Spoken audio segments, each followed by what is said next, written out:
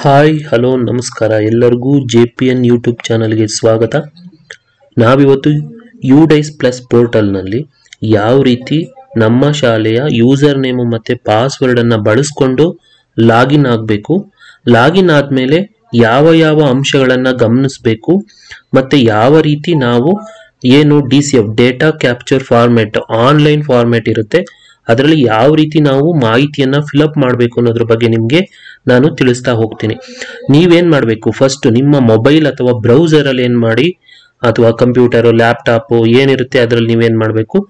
First Chrome ಅಥವಾ ಬೇರೆ ಯಾವುದೇ ಒಂದು ಬ್ರೌಸರನ್ನು ಓಪನ್ ಮಾಡಿ ನೀವೇನು ಮಾಡಬೇಕು?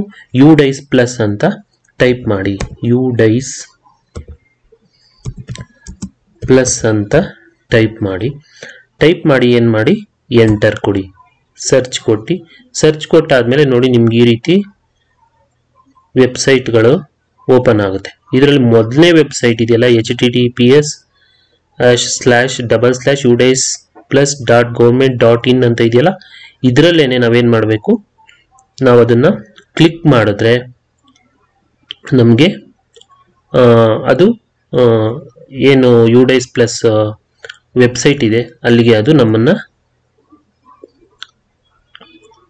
ತಗೊಂಡೋಗುತ್ತೆ ಈಗ ನಾನು ಅದನ್ನು ಕ್ಲಿಕ್ ಮಾಡ್ತೀನಿ. ನೋಡಿ ಈ ಥರ ನಿಮಗೆ ಓಪನ್ ಆಗುತ್ತೆ. ನೋಡಿ ಇಲ್ಲಿ ಯು ಡೈಸ್ ಪ್ಲಸ್ ಅಂತ ಇದೆ. ಇದು U DISE plus department of school education and literacy ministry of education government of India ಈ ಥರ ನಿಮಗೆ ಬರುತ್ತೆ ಒಂದು ವೆಬ್ಸೈಟ್ ಓಪನ್ ಆಗುತ್ತೆ ವೆಬ್ ಪೋರ್ಟಲ್ ಇದರಲ್ಲಿ ನೀವು ಸ್ವಲ್ಪ ಕೆಳಗಡೆ ಸ್ಕ್ರಾಲ್ ಮಾಡಿದ್ರೆ ನಿಮಗೆ ನೋಡಿ ಇಲ್ಲಿ U DISE plus school data capture ಅಂತ ಇದೆ.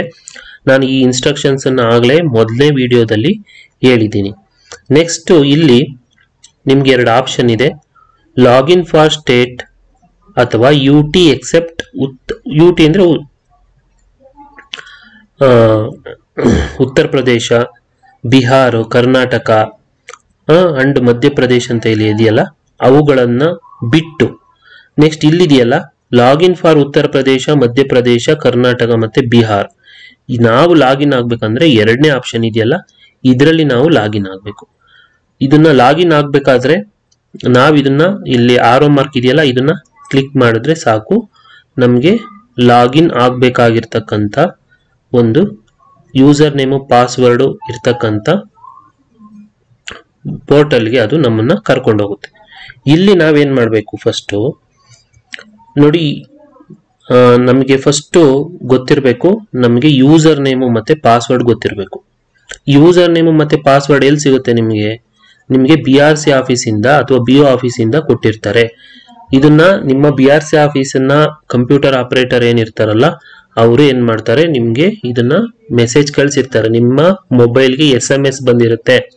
ಯು ಡೇಸ್ ಪ್ಲಸ್ದು ಅದನ್ನ ನೀವು ನಿಮ್ಮ ಮೊಬೈಲ್ನಲ್ಲಿ ಚೆಕ್ ಮಾಡ್ಕೊಳ್ಳಿ.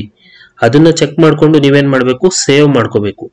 ಸಾಮಾನ್ಯವಾಗಿ ಯೂಸರ್ ನೇಮ್ ಏನಾಗಿರುತ್ತೆ? ನಿಮ್ಮ ಶಾಲೆಯ ಡೈಸ್ ಕೋಡೆ ಆಗಿರುತ್ತೆ.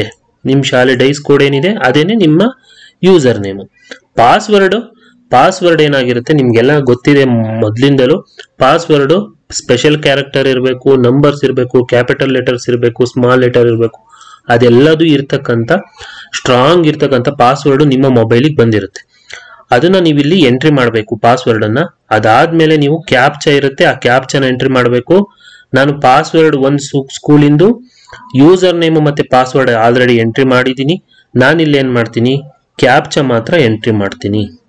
Four A seven three eight zero ಇದನ್ನ ಮಾತ್ರ ನಾನು ಏನ್ ಮಾಡ್ತಿದ್ದೀನಿ? ಎಂಟ್ರಿ ಮಾಡಿ ಲಾಗಿನ್ ಅನ್ನೋದನ್ನ ಪ್ರೆಸ್ ಮಾಡ್ತೀನಿ. ನೋಡಿ, ಈ ತರ ಲಾಗಿನ್ ಆಗುತ್ತೆ.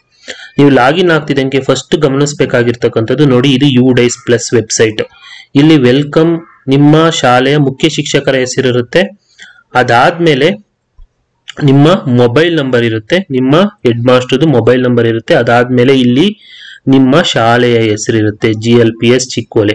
ಮತ್ತೆ ನಿಮ್ಮ ಯು ಡೈಸ್ ಕೋಡ್ ಇರುತ್ತೆ. ಅದನ್ನು ನೀವು ಗಮನಿಸಬೇಕು. ಮತ್ತೆ ಕೆಟಗರಿ ಇರುತ್ತೆ, ನಿಮ್ಮ ಶಾಲೆ ಕೆಟಗರಿ ಒನ್ ಪ್ರೈಮರಿ ಅಂತ ಅಂದ್ರೆ ಒಂದು ರೂರಲ್ ಅಲ್ಲಿ ಇರ್ತಕ್ಕಂಥ ಶಾಲೆ, ಅದು ಪ್ರೈಮರಿ ಶಾಲೆ. ಅಂದ್ರೆ ಒನ್ ಟು ಫಿಫ್ತ್ ಇರ್ತಕ್ಕಂಥ ಶಾಲೆ ಇದು.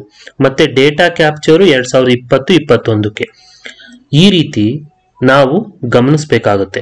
ನೆಕ್ಸ್ಟ್ ಇದಾದ್ಮೇಲೆ there is a one master D C F for school having grades one to twelfth ಅಂದ್ರೆ ಪಿ ಯು ಸಿ ವರ್ಗ ಇರ್ತಕ್ಕಂಥವ್ರಿಗೆ ಬೇರೆ master D C F format ಇದೆ.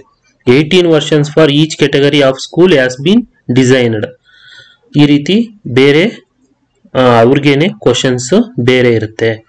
ಇಲ್ಲಿ download and read the instruction and user manual before starting to fill the data capture format ಅಲ್ಲಿ ನಮಗೆ instructions ನಮಗೆ ಸುತ್ತೋಲೆ ಬಂದಾಗ್ಲೂ ಹೇಳಿದ್ದಾರೆ, ಯಾವುದೇ ತಪ್ಪುಗಳಿಲ್ಲದಂತೆ ನೀಟಾಗಿ ನಾವು ಫಿಲಪ್ ಮಾಡಿ ಅಂತ ಅವರು ನಮ್ಗೆ ಇನ್ಸ್ಟ್ರಕ್ಷನ್ ಕೊಟ್ಟಿದ್ದಾರೆ.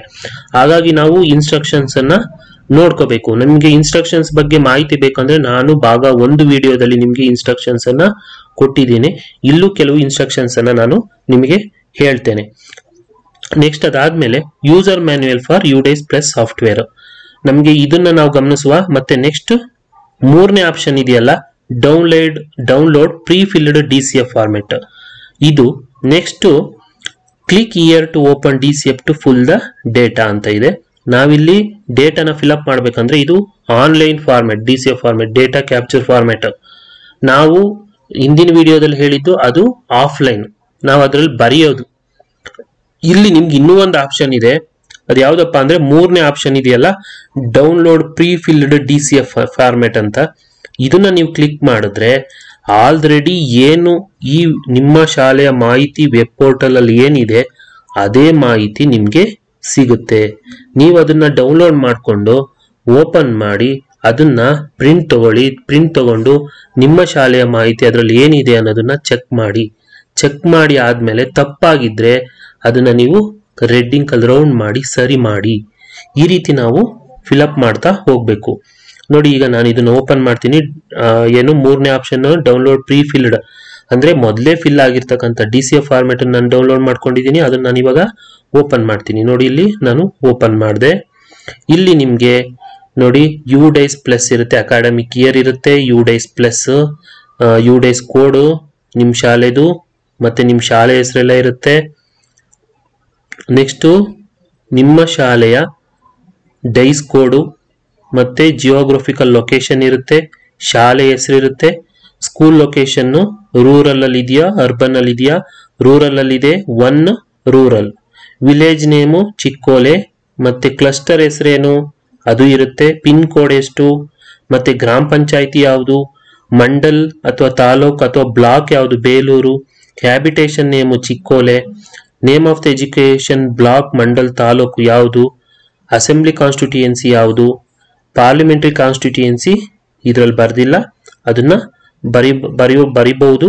ಅದನ್ನ ನಾವು ನಮ್ಮ ಬಿ ಆರ್ ಸಿ ಆಫೀಸಲ್ಲಿ ಕೇಳಿ ಅಥವಾ ನಮ್ಮ ಡಿಸ್ಟಿಕ್ ನೋಡಲ್ ಆಫೀಸರ್ ಅಲ್ಲಿ ಕೇಳಿ ಅದನ್ನ ಫಿಲಪ್ ಮಾಡ್ಬೇಕಾಗುತ್ತೆ. ಮತ್ತೆ ನೋಡಿ ನೇಮ್ ಆಫ್ ದ ಸಿಟಿ ಅಂತ ಇದೆ, ಇದು ಬೇಲೂರು ತಾಲೂಕಲ್ಲಿ ಇರೋದು ಆದ್ರೆ ಇಲ್ಲಿ ಆಲೂರು ಅಂತ ಬಂದಿದೆ.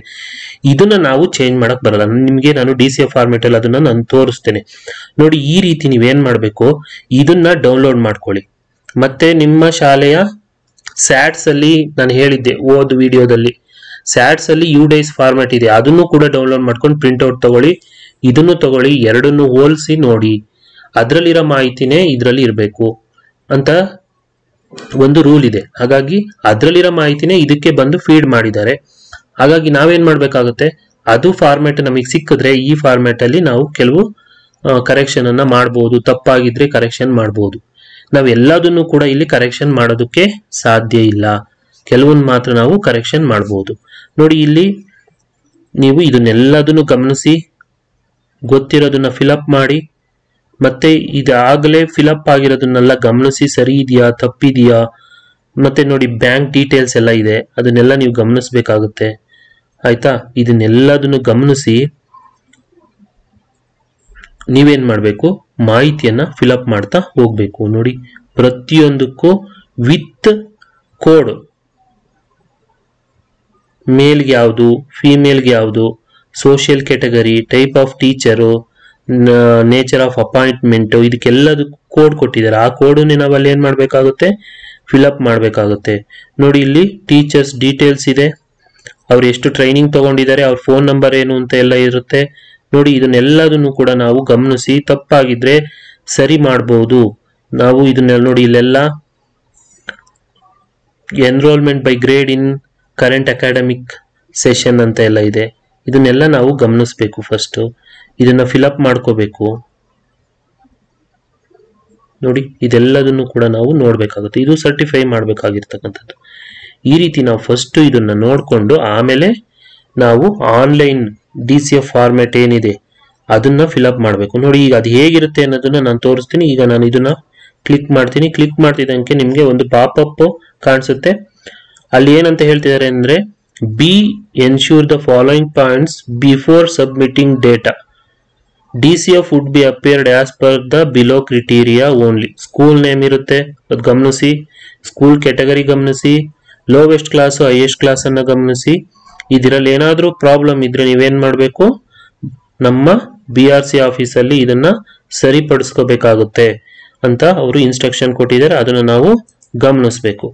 ನೋಡಿ, ಇಲ್ಲಿ ನಿಮಗೆ D C F numbers serial number ಬರ್ತದೆ. ನೋಡಿ ಒನ್ ಏನು ಸೆಕ್ಷನ್ ಒನ್ ಇದೆಯೇ, ಆ ಸೆಕ್ಷನ್ ಇಷ್ಟು ಕ್ವಶನ್ಸ್ ಅನ್ನ ಹೊಂದಿರುತ್ತೆ. Up to fifty one questions ಇದೆ. ಸೆಕ್ಷನ್ ಒನ್ ಅಲ್ಲೇನೆ ಐವತ್ತೊಂದು ಕ್ವಶನ್ಸ್ ಇರುತ್ತೆ. ಅದನ್ನ ನಾವು ಪ್ರತಿಯೊಂದನ್ನು ನೋಡ್ತಾ ಹೋಗಬೇಕು. ನೋಡಿ, ಇಲ್ಲಿ ನಾವು ಮೊದಲನೇದು ನಾ ಕ್ಲಿಕ್ ಮಾಡಿದ್ರೆ ನಿಮಗೆ ಏನು pre filled D C F ಫಾರ್ಮ್ಯಾಟನ್ನು ಡೌನ್ಲೋಡ್ ಮಾಡ್ಕೊಂಡ್ರಿ, ಅದೇ ಥರದ್ದು ಇಲ್ಲಿ ನಿಮಗೆ ಡಿಸ್ಪ್ಲೇ ಆಗುತ್ತೆ. ನೋಡಿ ಇಲ್ಲಿ one profile one point one two one point four one four ಅಂತ ಇದೆ. ಇಲ್ಲಿ ನೋಡಿ last question one point one four ಈ ಪೇಜಲ್ಲಿ ಇದನ್ನು ನಾವು ಗಮನಿಸಬೇಕು. ಅದಾದ್ಮೇಲೆ ಇಲ್ಲೊಂದು ಇನ್ಸ್ಟ್ರಕ್ಷನ್ ಇದೆ, ನೀವು ಗಮನಿಸಿ. Serial number one point one two one point one two cannot be modified by the school user block data entry operator. Those fields can be modified by block district MIS only. Block entry user school uh, school users can update serial number 1.13 to 1.14 ಈ ರೀತಿ ಇದೆ ನಾನೀಗ update ಮಾಡಬೇಕಂದ್ರೆ ಇಲ್ಲಿ click ಮಾಡಬೇಕು ಅಥವಾ ಇಲ್ಲೇನೆ update ಮಾಡಬೇಕಾಗುತ್ತೆ ನೀವು ಫಸ್ಟ್ ಗಮನಿಸಿ ಇದು ಸರಿ ಇದೆಯಾ ನಮ್ಮ ಶಾಲೆದು ನಾನು ಕೊಟ್ಟಿರ್ತಕ್ಕಂಥ ಮಾಹಿತಿ ಸರಿ ಇದೆಯಾ ಅಂತ ನೀವು ಇವನ್ನೆಲ್ಲ ಗಮನಿಸಬೇಕು. ನೋಡಿ, ಮೊದಲು ಯು ಡೈಸ್ ಕೋಡ್ ನೋಡಿ. ಲೊಕೇಶನ್ ಲ್ಯಾಟಿಟ್ಯೂಡ್ ಲಾಂಜಿಟ್ಯೂಡ್ ಎಷ್ಟಿದೆ? ಸ್ಕೂಲ್ ನೇಮ್ ನೋಡ್ಕೊಳ್ಳಿ. ಸ್ಕೂಲ್ ಲೊಕೇಟೆಡ್ ಇನ್ ರೂರಲ್ ಅಲ್ಲಿ ಇದೆಯಾ ಅರ್ಬನ್ ಅಲ್ಲಿ ಇದೆಯಾ ಅದನ್ನ ಗಮನಿಸಿ. ವಿಲೇಜ್ ನೇಮ್ ಗಮನಿಸಿ. ಕ್ಲಸ್ಟರ್ ಯಾವುದು? ಪಿನ್ ಕೋಡ್ ಏನು? ಗ್ರಾಮ ಪಂಚಾಯತಿ ಯಾವುದು? ಬ್ಲಾಕ್ ಯಾವುದು? ಹ್ಯಾಬಿಟೇಷನ್ ನೇಮ್ ಏನು? ಇದನ್ನೆಲ್ಲ ಗಮನಿಸಿ. ಅಸೆಂಬ್ಲಿ ಕಾನ್ಸ್ಟಿಟ್ಯೂಯೆನ್ಸಿ ನೇಮ್ ಏನು? ಮತ್ತೆ name of the parliamentary constituency ಇಲ್ಲಿ ಬಂದಿಲ್ಲ, ನಾವು ಅದನ್ನು ಚೇಂಜ್ ಮಾಡೋದಕ್ಕೆ ಬರಲ್ಲ, ಅದನ್ನು ನಾವು ಡಿಸ್ಟಿಕ್ ಲೆವೆಲ್ ಅಲ್ಲಿ ಚೇಂಜ್ ಮಾಡಬೇಕು. ನೇಮ್ ಆಫ್ ದ ಮುನ್ಸಿಪಾಲಿಟಿ ಅದು ತಾಲೂಕ್ ಪಂಚಾಯತ್ ಅಂತ ಇದೆ, ಸರಿ ಇದೆ, ಆದ್ರೆ name of the city where applicable Alur ಅಂತ ಆಗಿದೆ, ಇದು ತಪ್ಪಾಗಿದೆ, ಇದನ್ನು ನಾವು ಸರಿಪಡಿಸಬೇಕು, ಇದನ್ನು ನಾವು ನಾವು ಒಂದು ಲೆಟರ್ ಮೂಲಕ ನಮ್ಮ ಬಿ ಓಗೆ ಇದನ್ನ ಕೊಟ್ಟು ಸರಿ ಮಾಡಿಸ್ಬೇಕಾಗತ್ತೆ. ಅಡ್ರೆಸ್ ಅನ್ನ ಗಮನಿಸಿ. ನೆಕ್ಸ್ಟ್ ಇಲ್ಲಿ ವರ್ಗ ಒನ್ ಪಾಯಿಂಟ್ ಒನ್ ತ್ರೀ ವರ್ಗ. ನೋಡಿ one point one two one point ಟ್ವೆಲ್ವ್ನ ನಾವಾಗ್ಲಿ ನಮ್ಮ ಬಿ ಆರ್ ಸಿ ಆಫೀಸಲ್ಲಿ ಇದನ್ನ ನಾವು ಚೇಂಜಸ್ ಮಾಡಕ್ ಬರಲ್ಲ. ಇಲ್ಲಿಂದ, ಏನು ಅಡ್ರೆಸ್ ಇದೆಯಲ್ಲ ಒನ್ ಪಾಯಿಂಟ್ ಒನ್ ತ್ರೀ ಇಂದ ಒನ್ ಪಾಯಿಂಟ್ ಫೋರ್ ಇದೆಯಲ್ಲ, ಅದನ್ನ ನಾವು ಅಪ್ಡೇಟ್ ಮಾಡ್ಬೋದು. ಎಲ್ಲಿ ಅಪ್ಡೇಟ್ ಮಾಡ್ಬೋದು? ನೋಡಿ ಇಲ್ಲಿದೆಯಲ್ಲ ಈ ಆಪ್ಷನ್ ಅನ್ನ ಕ್ಲಿಕ್ ಮಾಡಬೇಕು ಅಪ್ಡೇಟ್ ಮಾಡೋದಾದ್ರೆ. ಕ್ಲಿಕ್ ಇಯರ್ ಫಾರ್ ಅಪ್ಡೇಟ್ ಅವೆರಡು ಕ್ವಶನ್ಸ್ ಮಾತ್ರ ನಾವು ಅಪ್ಡೇಟ್ ಮಾಡಬಹುದು ಇಲ್ಲ ಅಂದ್ರೆ ಅಪ್ಡೇಟ್ ಆಗಲ್ಲ ಈಗ ನಾನು ಇದನ್ನ ಅಪ್ಡೇಟ್ ಮಾಡ್ಬೇಕಂದ್ರೆ ನೋಡಿ, ಇದನ್ನ ನಾನು ಕ್ಲಿಕ್ ಮಾಡಿದ್ರೆ ಸಾಕು ಅಪ್ಡೇಟ್ ಮಾಡೋದಕ್ಕೆ ಆಪ್ಷನ್ ಸಿಗುತ್ತೆ. ನೋಡಿ ಇಲ್ಲಿ.